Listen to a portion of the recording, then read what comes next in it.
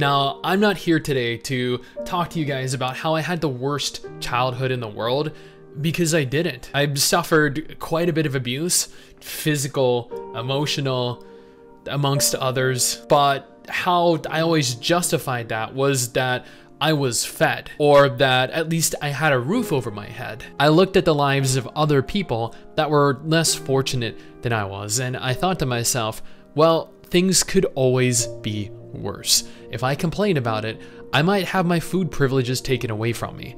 My mother, when I was five years old, locked me outside at 3 a.m. in the morning, in the pitch black of night, and she told me that she called people to come take me away because I had misbehaved. So if I stayed quiet, if I behaved, I would still have a home. Now, honestly, I'm not sure if this is due to the potential impending loss of everything I had as a child, but when other kids in school talked about various different things that they wanted, it consisted of things like action figures, like Pokemon cards, like Game Boy games. All I wanted personally was to not have this overwhelming feeling that at any moment I would have nothing. This left me unable to really connect with other people. They were happy, they had loving families, or at least the illusion of a loving family. In retrospect, I guess it's impossible to really know, you never do. I walked on eggshells. I avoided having friends come over because I didn't want them to see the kind of life that I led. I was ashamed. I was embarrassed. I could pretend to be normal at school, but I couldn't at home, not around my family. Again, this left me disconnected from people my age. I didn't spend nights over at friends' places, they never spent time over at mine. I fell into this pit of despair. I was secluded from friends. I faked all of the interactions that I had at school. I genuinely dreaded going home. What would there be waiting for me? Would my sisters, Wiggy's dad, my stepdad, hold me down and beat me again? Would my mother starve me for another night? There had to be more to life than this, right? Would I ever even get to experience it, or was this my life? That is pretty much what went through my head from the age of seven all the way until 10. At the age of 9, 23 years ago in 1998, I watched a commercial for Sony's newest gaming console, the PlayStation. I had not played video games before. I had no understanding of what they were, and I couldn't have even begun to fathom the inconceivable impact that it would have on my life moving forward. All I knew was that I wanted one. I wasn't in a position where I could simply ask my parents for one. My family were trailer trash. Wiggy's father was an abusive, drug-addicted alcoholic. I know, winning combination, right? My mother, she uh she sure knew how to pick them. Thankfully, both my parents channeled all of that rage, all of that hatred into me, not into my sister Wiggy. So, I sat down one afternoon and I contemplated how I wanted to go about obtaining one. Unfortunately, at the time, my nine year old mind was not capable of coming up with anything reasonable. However, a few weeks later, my neighbor asked if I could help him move some stuff. He was an older gent, a really nice guy that I would pass on the way home from school sometimes. I wasn't a bad kid, so naturally I had no issue helping him out. This was admittedly an excuse to keep me from having to go home, having to go back to what I could only perceive hell to be. After spending approximately two hours helping him rearrange one of the rooms in his home, stuff into the shed that he had out back, he gave me $20. I was nine years old and I just made my first $20. I was ecstatic, and the first thing that entered my mind, interestingly enough, wasn't that I could save this to eventually purchase a PS1.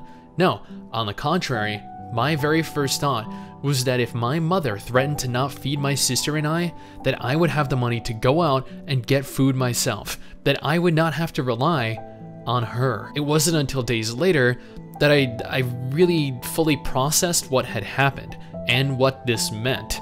For the next couple months, I went around to our neighbors offering my services for anything they could spare. I went to local gas stations and offered to restock their entire shelves for them for as little as a dollar an hour. I didn't care. I had no friends, I had no social life, I had infinite time and a willingness to dedicate all of it to making enough money to purchase that PS1. That was a goal that I had set months earlier, and obtaining it was finally within my grasp. All the while, my parents had absolutely no idea what I was doing behind their backs. They didn't care. As long as I was home, as long as they could physically see me, they were content, satisfied with the knowledge that I was alive and that they wouldn't have to deal with Child Protective Services. Over the next few months, I would spend hours every day after school mowing lawns, stocking shelves, walking dogs, doing the work that other adults did not want to do, all the while hiding every cent I made in a small bag that I had hidden away behind a shelf in my room. And I know what you're thinking. Why would you go about hiding your money? And that is because my aunt, my grandparents, occasionally they would feel generous enough and they would send me $20 for my birthday. I never received that. My mother used it to pay bills, to buy food, or at least that's the excuse that she gave me every month she came home with freshly painted nails. So I hid my money. I worked hard for this and I refused to let someone else take this and use it for their own selfish gains. So fast forward several months, and I had saved enough money to purchase the console that I had been dreaming of for what seemed like an eternity. I was 10 years old at this juncture, too young to go into town on my own, but if I asked my parents to take me, I'd receive one of two different responses. They'd question what I needed and how I was capable of obtaining what I needed, or they'd just outright say no. Neither of those outcomes were acceptable to me. So I went next door and I asked the old man that gave me my first $20 if he would give me a lift into town. He had no problem with that. He didn't even ask me what I needed. I guess he felt sorry for me now that I look back. He could hear the kinds of arguments that my mother and my stepfather would get into. He'd hear the kinds of things that they'd do to me, the things that they'd call me. Poor guy. I, I, genuinely feel bad that he no doubt bore witness to some of that, and given how friendly he always was, likely felt like there was nothing he could do. He took me into town directly to the store that I needed, and he asked me if there was anything he could do. I handed him everything I'd saved up at that point, and I asked him if he could purchase the PS1 for me, since I was young and they might not sell it to me. I wasn't aware if there was some kind of age requirement attached to the purchase of a console at that age. He proceeded to just laugh and agree. He purchased it for me. It actually ended up being a little more expensive due to the fact that I also had a game purchased with it. I didn't factor that in when initially saving up for this, but he was more than happy making up that difference. He handed it to me, and he drove me back to his place. He knew better than to drop me off at my place, as my parents would begin questioning me as to what was going on, and that was a conversation that I definitely did not want to have. I snuck in through the back door that I left open after making certain that they were both in the living room watching the TV. They'd spend every evening watching the TV from approximately 6 to 8 p.m. Otherwise, they'd be outside smoking, doing whatever they did. I, I tend not to really think about it. I had to reel in and contain my excitement at this juncture. I, I couldn't just go and hook up my PS1 to the TV, so I waited until they were done with their shows and went outside. Immediately, I ran over to the TV, I hooked up my PS1, and I booted up the first game that I ever purchased, Resident Evil. My parents would stay outside until after midnight, so I knew I had plenty of time to play this game, and I lost myself in it. I I stayed up all night playing it, being horrified with it. I couldn't sleep that night. I tried, but my excitement was just immeasurable. When I did finally fall asleep, I had nightmares. In retrospect, Resident Evil probably wasn't the best pick in terms of a, a video game to play for the first time at that age, at midnight, all by myself. Eventually, my parents learned that I had somehow gotten my hands on the console, but much like me at the time, had no idea what it was. I lied, telling them that it was something I borrowed from a friend. That way they would be less inclined to take it away from me or worse, sell it. Thinking back, this was probably the, the defining moment that started me, that set me on this journey to pursue a career in YouTube. If I had never had these experiences then I would never have lost myself in gaming, and it would have ultimately led me down a very different path. I would continue to replay Resident Evil repeatedly, as that was the only game that I had access to at the time.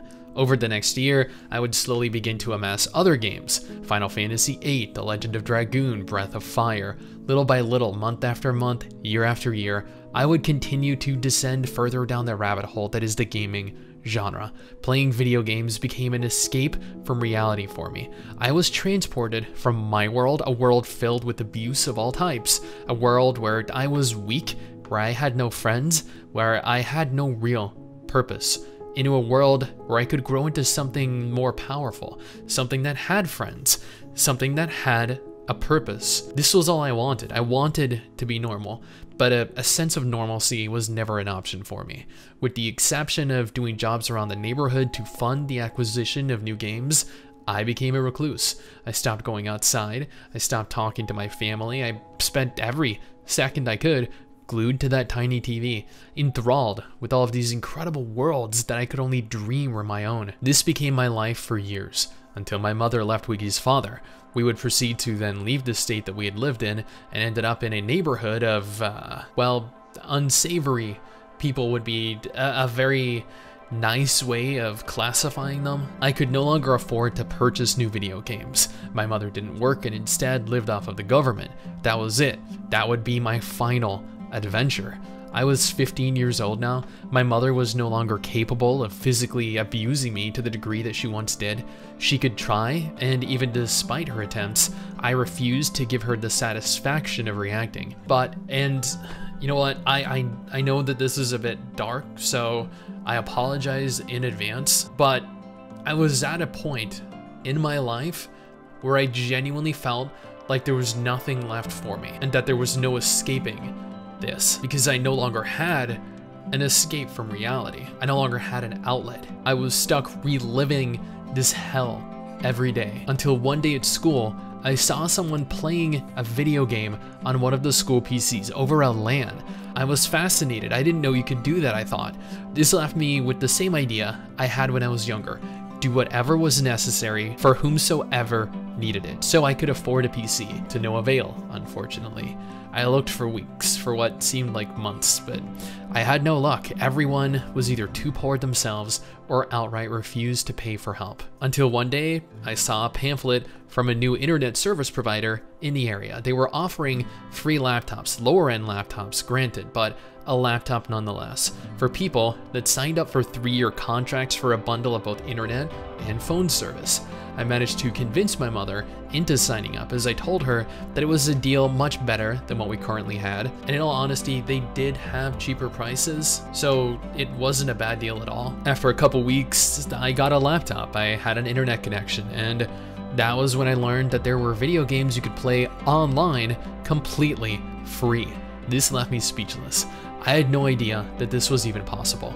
I didn't know that you could play games over the internet let alone with other players. I thought LAN parties were the only types of multiplayer available to PC gamers. And this is when I downloaded my first MMORPG, Tales of Pirates. Once more, I was met with an escape from reality, one that I absolutely needed. Without this escape, I dare not even imagine what I would have done or what would have happened to me. Tales of Pirates was an MMO that I dedicated two years of my life to. It was different uh, playing a single player RPG. Instead of playing as a as a hero with a preset personality and a linear story out of my control, I could play as myself, I could create my own legend. And that is what kept me playing for two years. I did everything I could. I participated in dungeons, I participated in raids, I, I engaged other players in PvP, I fought for my friends, I fought for my guild. We built a community of players that would all work together towards a common goal. This was a sense of camaraderie that I'd never had outside of video games that lifted my spirits and left me coming back every single day for more. It became more than an escape from reality for me, it became my reality. I devoted every fiber of my being to that game for two whole years, and I don't regret a single second of it.